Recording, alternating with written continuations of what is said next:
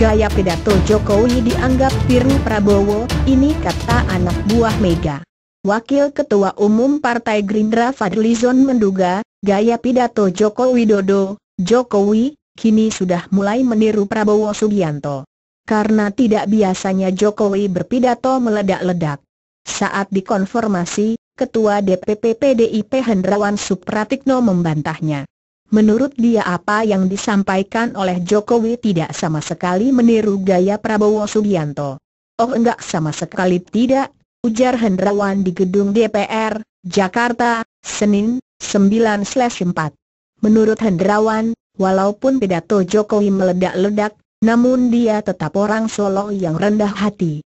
Memang tutur katanya saja kebetulan sedang meledak-ledak saat berbicara dengan relawannya.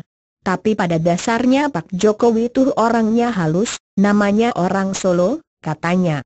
Lagian kata dia, selama ini Jokowi selalu menampilkan pidato yang biasa saja. Masyarakat saja akan bosan kalau menonton film atau sinetron yang begitu-begitu saja. Jadi wong sinetron saja kadang-kadang menakutkan, kadang menggembirakan, dan kadang penuh kejutan, ungkapnya. Karena itu, menurut anggota Komisi X DPR ini, pidato di Bogor itu adalah variasi gaya Jokowi.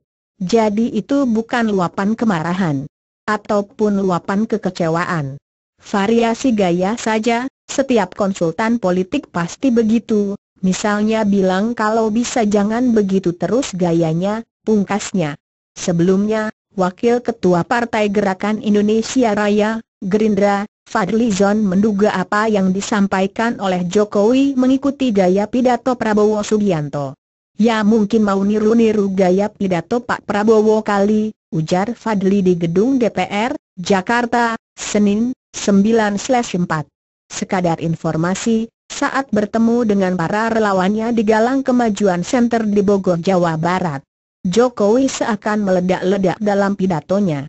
Jokowi seakan marah lantaran Indonesia diprediksi bakal bubar di 2030, kemudian dirinya disebut pro terhadap asing, keturunan Partai Komunis Indonesia, PKI, dan juga ada gerakan nomor 2019 ganti presiden.